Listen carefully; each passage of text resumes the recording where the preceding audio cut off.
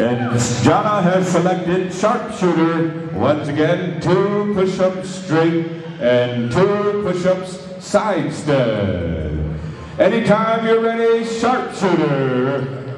Finalist number two, Jonna Brady.